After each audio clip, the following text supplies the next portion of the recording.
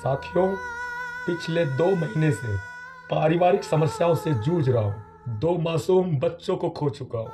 अपनी पत्नी को संभालते संभालते इतना खो गया मैं कि मनुवादियों ने घात लगाकर मेरे ऊपर जानलेवा हमला कर दिया लेकिन ये जानलेवा हमला मेरे हौसलों को नहीं तोड़ सकता। मेरा समाज मुझे पुकार रहा है।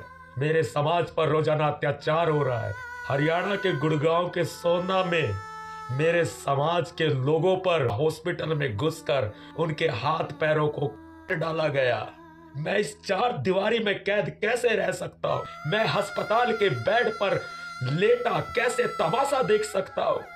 22 नवंबर दोपहर 12 बजे मैं पहुँच रहा हूँ सोहना नज़दीक राजीव गांधी पार्क, बंद कॉलोनी, वार्ड नंबर 20 अपने परिवार से मिलने। न्याय की आस लगाए मेरे परिवार के, मेरे समाज के लोग मुझे पुकार रहे हैं और मैं सोना आ रहा हूँ, दोस्तों। क्रांतिकारी जय भी जोश में न खोए